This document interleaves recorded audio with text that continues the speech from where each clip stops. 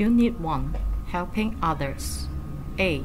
Vocabulary 1. Activities related to helping others. Number 1. Clean the floor. Clean the floor.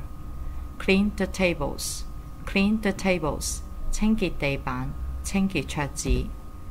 Number two, paint the bookshelves.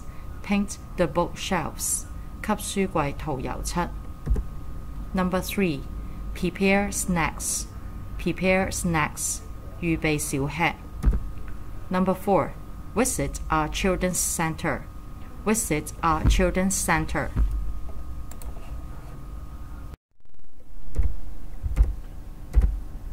Number 5. Collect old books. Collect old books. Collect old clothes. Collect old clothes. Collect old toys.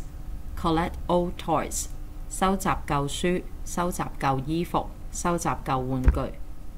Number six, play games. Play games.